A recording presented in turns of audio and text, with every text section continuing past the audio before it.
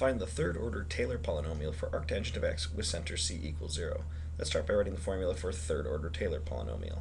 That would be f of the center plus 1 over 1 factorial times f prime of the center times x minus the center plus 1 over 2 factorial times f double prime at the center times x minus the center squared plus 1 over 3 factorial f triple prime at the center times x minus the center cubed and that's where we'll stop because we're looking for a third order approximation. Now remember that the center for the series is c equals 0. So that means all of the c's in this equation can be replaced by zeros. So now let's start working on those coefficients. The f, the f prime, the f double prime, and the f triple prime at 0. So our function is the arctangent of x. If we evaluate this at 0, we would get f of 0 is equal to the arctangent of 0, which is just 0. And so that number goes right here. Next, let's take a derivative. f prime of x is going to be 1 over 1 plus x squared, the derivative of the arctangent, or 1 plus x squared to the minus 1. If we plug in 0, we're going to get f prime of 0 is equal to 1 plus 0 to the minus 1, which is just 1. And that's this coefficient here. Next, let's take a look at the second derivative.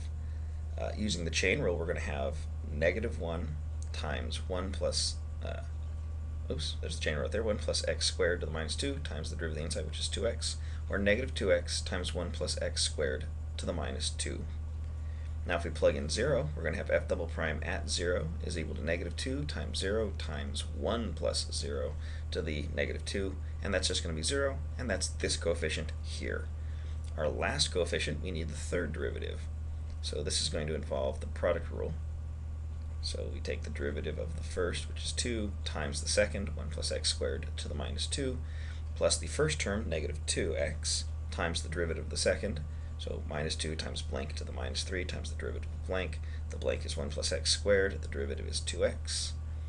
And then we need to clean that up, so we're going to have a minus 2 times 1 plus x squared to the minus 2. There's a negative, negative, negative, so this will be a positive 8x squared times 1 plus x squared to the minus 3. Uh, we can just plug in 0 now rather than simplify because I just care about this number. That's going to give me negative 2 times 1 to the negative 2 plus 8 times 0 times 1 to the negative 3 and that's a grand total of negative 2 and so that goes right here. So now we have the coefficients. Let's clean this up. We have 0 plus 1 over 1 times x plus 0 plus negative 2 over 6, 3 factorial, times x cubed. And so there's our Taylor polynomial. Let's clean it up a little bit more to make it a little bit more readable here. So we're going to have, ignoring the zeros, x minus 1 third x cubed. That's our third order Taylor polynomial, and it's an approximation of the function arctangent of x. And that's our answer.